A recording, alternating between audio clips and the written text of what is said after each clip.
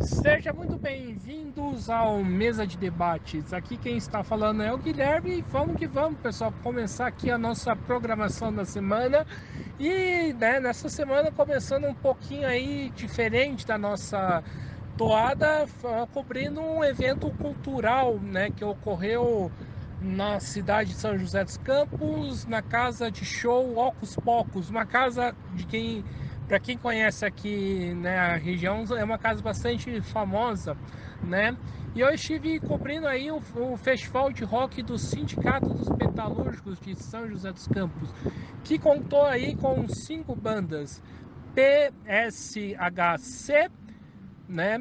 O Anversa, né, que inclusive já esteve no mesa de debates, também o é, teve o Menace Cadaver e o Plant, né? Bandas aí que já uh, conversaram aqui com o canal. No evento aí do Sindicato dos Metalúrgicos, na Ocos Pocos, teve uma exposição de fotos aí do Pinheirinhos, né? Do 11 anos aí do lamentável acontecimento, né? Que esteve na frente aí desse lamentável acontecimento foi, né? O Geraldo Alckmin. Então, Fique aí com a gente e veja aí como que foi mais um evento aí com, é, né, que a gente fez a cobertura. Um forte abraço e fui. Eu estou aqui com o Heller, presidente do Sindicato dos Metalúrgicos de São José dos Campos, né, militante do PSTU. Heller, primeiramente, né, qual é a importância aí para você, do sindicato, realizar essas atividades? O sindicato ele existe em primeiro lugar para organizar a luta dos trabalhadores. E a gente sabe o quanto que os trabalhadores e a população em geral nessa sociedade são carentes de cultura. Então o nosso sindicato faz os eventos de rock, como esse que está acontecendo aqui hoje, que é som pesado, a gente faz os eventos de samba, a gente faz os festival do metalúrgico, enfim, a gente sabe que na categoria tem aquele que gosta de rock, tem aquele que gosta de samba, você tem aquele que gosta de sertanejo. A gente acha que é importante que o sindicato ele não só organize a luta, mas também invista em atividades culturais, sociais e esportivas para os trabalhadores. E para a gente finalizar aqui o nosso papo, né, mais uma vez relembrando o Pinheirinho, Exato, isso que é o mais importante. A gente não faz apenas o evento para ter música. A gente faz o evento para discutir cultura e para discutir também os temas que acontecem no nosso país e a cada evento a gente escolhe um tema. Dessa vez o tema da desocupação do Pinheirinho e a gente acha que é importante. A turma está aqui para ouvir rock and roll, curtir uma música, mas tem que entender também um pouco de como funciona a sociedade nesse sentido. A gente se utiliza das atividades para a gente estar tá colocando também o nosso posicionamento político, principalmente para essa juventude que aqui acompanha esse tipo de evento. Então é isso aí, muito obrigado, Weller. Valeu, vamos seguir organizando aí as atividades para os trabalhadores. É, eu estou aqui com o Bob, né, do Sindicato dos Metalúrgicos de São José dos Campos, está organizando aqui mais um evento aqui na Ocos Pocos. É, Bob, primeiramente, do que, que se trata esse evento? Ah, esse evento é o, é o Sindimento Rock Fest, um evento de bandas autorais, né? que a gente está trazendo, o sindicato está promovendo a cultura e junto com isso estamos fazendo a exposição de 10 anos de desocupação do Pinheirinho. Perfeito. E o Bob, a gente fala de Pinheirinho, a gente tem que falar também, né? Colocar o dedo na ferida em alguns setores da esquerda, né? Que falar de Geraldo Alckmin, né? Que era governador da época. O que dizer sobre isso? A Geraldo Alckmin tem essa mácula aí, né? Estava sob o comando dele e esse massacre não pode ser esquecido porque foi a maior operação militar do estado de São Paulo para retirar pobre trabalhador a favor de uma única pessoa que é uma massa falida que está até lá hoje o terreno e essas pessoas foram brutalmente violentadas, tiveram seus direitos violentados porque são pobres e trabalhadores. Isso aí está na conta do Alckmin e do Cury, né? E, e tem gente que aposta nisso, né? Nessa frente ampla para combater a extrema direita, é possível? Eu acho que essa frente ampla a gente tem que tomar um pouco de cuidado, senão a gente acaba é que nem deixar a cobra no quarto solta e falar que ela é obediente. Uma hora vai ser picado, né? E depois não adianta falar que é golpe também, né, gente? A gente tem que se posicionar e a esquerda não dá. A gente já, se a gente não se posicionar e educar o pessoal em relação à extrema direita, a gente vai ser engolido por esses caras que estão aí. Né? Pois é, então muito obrigado aí, Bob. Valeu, tamo junto, é rock.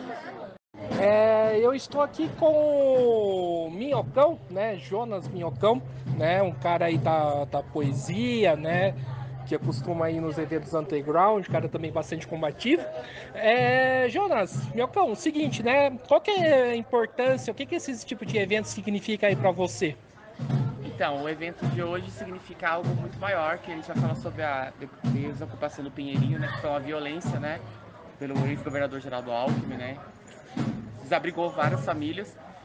E também para a gente pensar como consciência de classe e entender que, exemplo, o Bolsonaro saiu, mas o bolsonarismo está aí. Entender que o governo nosso não é esquerda, que a, realidade, a guerrilha é nós por nós, na periferia. E a gente escutar mais, sabe? E, escutar mais a necessidade do outro, entender qual o mecanismo, entender também que, que é importante ter ações políticas como a Erika Hilton, né, que está aí, né, lutando pela gente, pela gente LGBTQIA+. E também é muito importante a mesa de debates, né, que vocês fazem, né, o espaço que vocês dão pra gente. Que é isso, a gente tem que aprender muito com o outro. Esse é o caminho. E assim, qual que é a importância desses eventos sempre estarem ligados aí com a discussão política? eu acho que primeiro é ocupar, né? Eu acho que seja com, com som, com bandas, com grafite, arte, mas eu acho também que dá mais espaço para a galera nova que está chegando, porque a revolução é do novo, né? Porque eu sinto que a gente está numa desconstrução muito, muito forte ainda. Eu tenho 35, eu sinto ainda que eu tenho muitas coisas a quebrar em mim. Eu tenho aprendido muito com a galera de 18, 19. E é isso. É isso aí, valeu, Minhoca. Eu que agradeço, obrigado. Eu estou aqui com a Tati do Anversa, uma das bandas que vai se apresentar aqui no evento, né, chamado dos Sindicatos Metalúrgicos. Tati, qual que é a importância, né, para vocês e, e para a banda se apresentar num evento que é chamado um sindicato?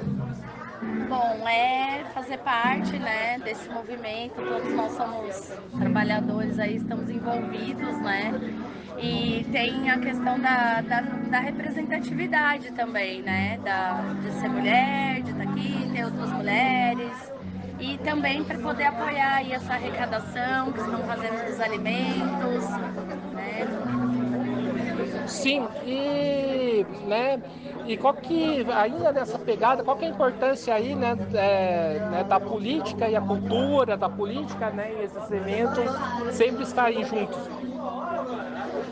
A importância é a gente ocupar, né, os espaços que nos pertencem, é a gente se manter presente, forte na luta, defendendo os nossos direitos, é, quanto pessoas, quanto trabalhadores, quanto mulheres. Então é isso aí, valeu Tati. Eu é que agradeço, valeu. Eu estou aqui com a Nata do Manager Cadáver, né? está é, tá aqui ajudando a organizar o evento junto com os sindicatos metalúrgicos. Nata, qual que é a importância aí para o manager estar tá participando de um evento que é chamado por um sindicato? Não, nós somos uma banda formada por trabalhadores que vieram da indústria e da prestação de serviços, então pra gente é Bora, galera, tá vamos chegar aqui, o som vai rolar. Né? A gente está representando o Brasil aí que é o que a gente fez, aí. né? Que ninguém da banda é abastado. Beleza, galera? Nós estamos no Rombo 3. Então, uma Maravilha! Né? E para a gente terminar aí, né, duas bandas né, com um estilos diferentes, né, que é com vocais feminino. Qual que é a importância disso aí para o underground? Então, meu vocal não é essencialmente feminino, meu vocal é cultural, né? Ele é com técnica, então ah, A vovô, não sabe se é mulher ou homem que Nasceu tá cantando. da indignação, da mentira é, que os é, é poderosos é dos né, burgueses sempre nos contam é o espaço que sempre foi composto né, também, essencialmente, por é, minorias também, que são na realidade a maioria. Então ter, ter essas representações do palco Essa música é Não Minta É isso aí, muito obrigado. Oi? Muito obrigado. Ah, eu que agradeço. Eu estou aqui com o Leandro do Roco Plant, né? Acabou de se apresentar aqui no evento. Leandro, primeiramente, o que, que você achou aí do show aí da banda? Pô, da hora, primeiramente aí, ó, agradecer aí ao canal aí, a oportunidade de a gente estar falando. E é uma satisfação estar no rolê hoje aí com essas bandas fera, ainda mais hoje aí relembrando a reintegração de posse do Pinheirinho e fazendo essa festa aí com essa galera aí da hora cantando e dançando aí. pô, satisfação tá aqui, muito legal mesmo. E, Leandro, qual que é a importância aí, né, de um evento montado, né, por um sindicato, né? Qual que é a importância aí da banda participar de um evento como esse? Cara, ó, primeiramente aí, cara, parabéns ao sindicato aí por estar tá trazendo a cultura de volta, entendeu? Pra galera, ainda mais fazendo um evento gratuito aí pra galera entrar, participar da cultura, estar com o microfone aberto para fazer poesia, para cantar. Então isso aí é muito importante, importante a mensagem que ele quer passar para a sociedade hoje para a gente se unir mais e se ajudar mais. Aí tá a palavra do Leandro, muito obrigado. Valeu, eu que agradeço aí, tamo junto. É, eu estou aqui com o Lecão do Amnésia Coletiva, né? É legal, primeiramente, qual que é a importância aí de estar presente e compor aí uma atividade que é chamada por um sindicato? Primeiramente, cara, obrigado mais uma vez por estar aí no canal do Guilherme aí, dando entrevista, né? Cara, e tá tocando pelo sindicato hoje aqui, o Bob chamou a gente, o Bob é um amigo de longa data, né, cara? Sempre apoiou a amnésia coletiva. Cara, hoje a importância é total, assim, ainda mais que eles estão numa luta fodida aí no, aqui no Vale do Paraíba, né? Então, hoje a importância de tocar nesse evento é bem maior pela luta que eles estão tendo esse, esse mês agora aí. E é mais uma vez mostrando que é possível, né? O, sim, é possível juntar política, né? Juntar política de contestação né, com cultura, né? Oh, com certeza, é importante sempre ter a cultura junto com, com a política, ainda mais da gente que toca punk rock, cara. Então a gente sempre é uma banda politizada, então a gente estamos juntos aí. Então é isso aí, muito obrigado, Lecão. Valeu! Eu estou aqui com o Gustavo aí, que possui duas bandas, né, que está tocando, uma é vocalista, outra é baterista. É, Gustavo, primeiramente, qual é a importância aí de um evento como esse, chamado pelo sindicato? A importância é gigantesca, né, Guilherme? Satisfação estar tá falando com você, com o mês de debate. É, a organização dos trabalhadores, né, é super importante para a revolução e as artes, ela tem um papel fundamental nisso, que é da organização, dos músicos, dos artistas, pintores, escritores. Hoje a gente está tendo aqui também uma exposição também de fotografia. Então, assim, a importância é suma, é, porque é assim que a gente vai conseguir alcançar novos pensares e esclarecer também a luta e esclarecer também a, como a união é importante para a gente conseguir prosperar uma manhã melhor. E, Gustavo, isso mostra que política, cultura, política, o underground andam sempre junto, né? Sim, é, sim. Eu acho que é uma simbiose, né, cara? Não tem como você falar de arte sem falar de política e vice-versa. Porque é, um é reflexo da outra, né? Então eu acho que o artista ele tem que ser politizado, ele tem que entender o momento histórico que está vivendo e o seu local na sociedade. E com a sua arte ele também tem que saber que ele alcança novos, novos públicos e também ele, é, ele dita tendências, ele faz pessoas pensarem. Então a gente tem um papel fundamental, seja no underground, tocando, fazendo conteúdo, é, produzindo o que for de, é, de material para mídia popular e sendo mídia independente, a gente tem que ter a responsabilidade de é, mostrar a luta do, contra, o contra o fascismo, mostrar que eles estão ainda presentes em, em opiniões retrógradas como homofobia, racismo, e isso a gente unido, somente unido a gente vai conseguir destruir essas mazelas da sociedade. Então é isso aí, muito obrigado aí, Gustavo. Muito obrigado pelo espaço aí, Mesa e Debate, canal da rua. Se inscreve aí, você que não conhece meu trabalho. Eu tenho lá o arroba canal da rua, arroba Pest Punk Rock. Fomenta a cultura aí há mais de 20 anos e tamo junto. Obrigado pelo espaço aí, é nóis. Valeu. Eu estou aqui com a Aninha, né, DJ, né, e também vocalista de banda, tá aqui no evento. Aninha, primeiramente, qual é a importância de um evento aí né, chamado pelo sindicato, está ocorrendo aí com várias bandas boas. Boa noite, gente. Acho muito importante esse rolê tá rolando aqui hoje. É muito bom ver as bandas da cena aqui Vale representando. E a gente espera que a galera venha prestigie, né?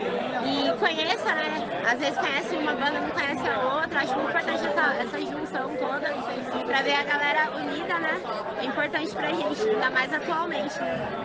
E Aninha, qual é a importância aí, né, da política e cultura estarem andando junto, né? Uma vez que é um evento chamado por um sindicato? É, eu acho importante a questão da, da informação, né? Acho importante a junção das culturas para que é, essa soma cresça ainda mais, né? Acho que as duas coisas precisam somar e andar juntas. Por isso acho que foi muito interessante a iniciativa e espero que a galera curta. Então é isso aí, muito obrigado.